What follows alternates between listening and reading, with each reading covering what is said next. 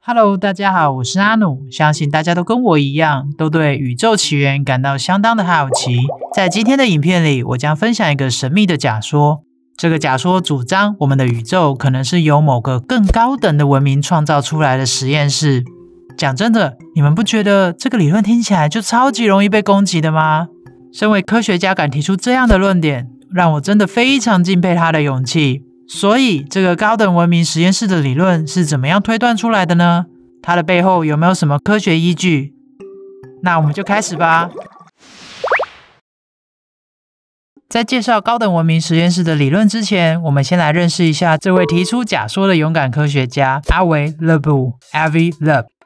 他是一位美国籍以色列的天文学家，他曾经在哈佛大学担任天文学系的主任，长达九年的时间。他的研究范围很广，包括宇宙学啊、天体物理学啊。他也专注于研究一些暗物质啊、黑洞啊、星系演化的未解之谜。他还有一些看起来很厉害的头衔，像是前白宫科学技术顾问成员啊、二零一二最具影响力的太空人物之一等等。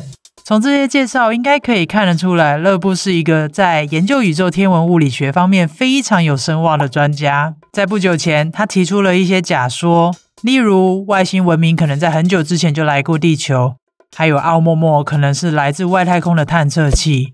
以他的身份讲出这些话，想也知道结果，他果然引起了科学界的轩然大波。不过，我觉得他真的是一个很热爱研究未解之谜的科学家，因为他完全没有害怕失去地位，没有因为压力就改变说法，始终坚持自己的观点，持续研究下去。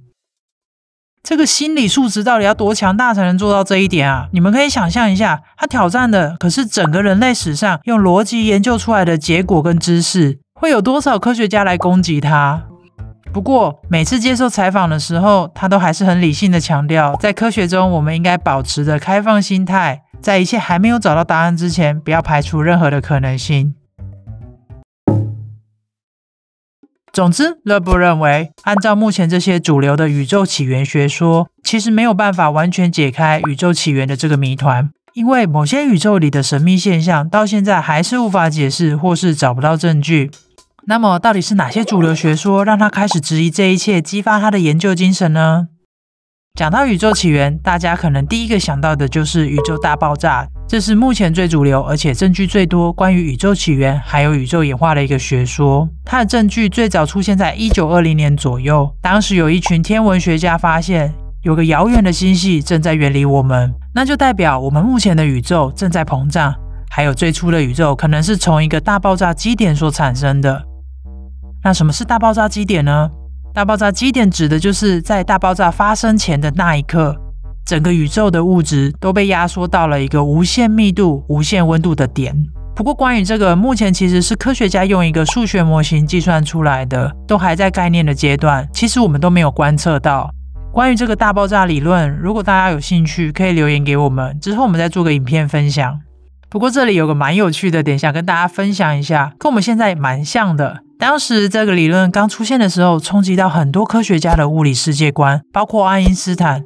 所以一开始很多的科学家都质疑这个理论，也有科学家甚至认为这个理论根本就是暗示了某个被创造的神秘时刻。一直到越来越多的证据被证实之后，科学家们才开始慢慢接受，才让这个学说成为了解释宇宙起源的主流论述之一。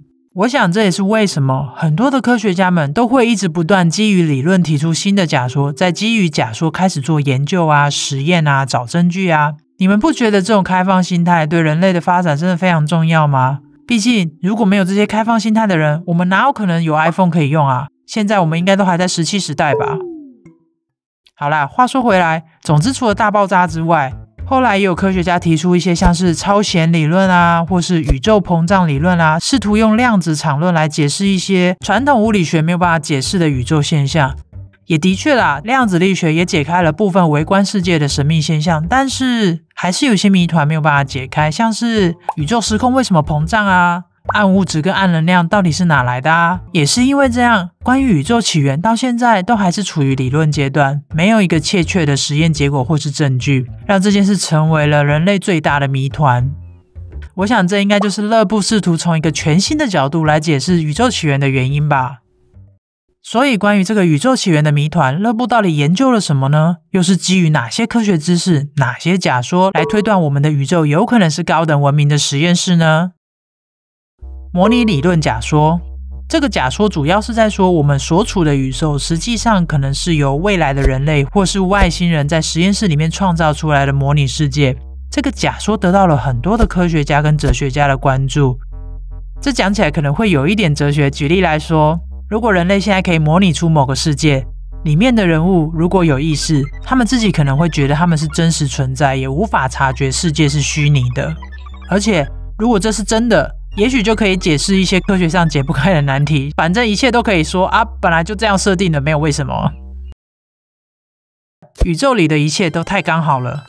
不少的科学家认为，我们目前所处的宇宙，所有的一切都太刚好了。这种有序性极高的现象，其实有点难以解释。所以他们推断，很有可能这些太刚好的事情，是由某个外在的因素所造成的，不是自我形成的。例如，重力只要稍微变大或是变小，可能都会让这个宇宙成为一个没有办法存在生命的地方。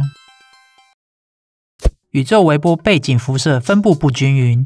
科学家在研究宇宙起源的时候，都会去观察所谓的宇宙微波背景辐射，它代表的是宇宙早期爆炸之后残留下的辐射余温。科学家们可以透过这个结果去了解一些像是宇宙早期的结构啊，还有演化的过程啊。但是勒布提出，有些地方它的分布不太均匀，这个不均匀的现象很有可能是宇宙早期一些未知的物理现象。总之，这个目前还没有办法找到一个很合理的解释。神秘的暗能量，暗能量是科学家透过观测跟计算宇宙里一些遥远的恒星跟星系它们的移动得到的。暗能量也可以用来解释宇宙为什么会加速扩张，还有所有的恒星跟行星运行的主要原因。不过呢，目前这个计算的结果跟观测值存在了一些些的差异，导致我们现在还没有办法了解这个能量到底是怎么影响宇宙扩张的。总之，乐布基于这几个点推断出，我们其实对自己的这个宇宙没有很了解，也认为这个宇宙很有可能是被创造的。既然有可能是被创造的，那到底是怎么做的？而且为什么无缘无故要创造我们？这里有个概念假说，认为高等文明可能是使用一种叫做慢制造的技术，在外层星系或是遥远的星云中收集各种资源，然后慢慢制造出行星跟生命的起源。这个过程有可能需要数十亿年，而且需要非常高级的技术才能完成。在这个过程中，高等文明也有可能把自己的意识跟知识传递给他们自己创造的生命，让生命可以自己发展出高级的智能跟科技。至于创造我们的原因，推测有以下几点：分享知识，高等文明可能可以透过帮助较低等的文明发展，这样子他们就可以自己提高整个宇宙的智慧跟进步。延续存在，高等文明希望透过创造新的生命来延续自己的存在。了解自己，为了更深入了解自己的宇宙，还有生命起源跟演化过程，所以制造了一个类似的环境模拟跟研究。勒布提出了一个有趣的比喻：如果这个高等文明实验室的假说被证实了，那我们就是活在这个实验室里面的小白鼠。不过，当然这些都还在假说阶段，存在很多的争议跟不确定性。所以，简单来说就是。没有证据，但也没有没有证据。想当然，就像我前面提到的，勒布一定有充足的勇气才敢讲出这些大胆的假说。对于科学家来说，这真的是一个超级冲击传统科学的假说。诶，所以在科学界，他当然也是一直被疯狂的攻击啊。像是很多人都认为他的理论缺乏足够的科学证据支持，只是基于一些不确定的假说跟猜测。而且他们还说，这些理论跟观点没有经过同行的评审，其他的科学家没有机会评估他的理论是否符合科学的标准。还有一些批评者认为他的研究缺乏严谨的科学方法论，可能存在了许多的个人偏见或是主观看法。还有一些是比较夸张的，他们觉得他的观点只是为了求关注啦，不是基于科学证据或是真正的科学探索。但总之，即使勒布的理论跟观点常常受到科学界的质疑跟挑战，但他还是非常坚持自己的观点，并且继续进行研究跟探索。因为他认为科学家都应该保持开放的心态来探索不同的可能性，更需要勇于提出挑战现有科学理论的假说，并进行严谨的科学实验，这样才能观测来验证这些假说的正确性。尽管这些理论缺乏直接的证据，但这种可能性还是存在，而且目前我们也没有办法排除它。就像我前面讲的，没有证据，但也没有没有证据。他强调，这个假说会让人类反思自己在这个宇宙中的地位跟智慧，并且激励我们在茫茫宇宙中寻找其他更聪明的生物。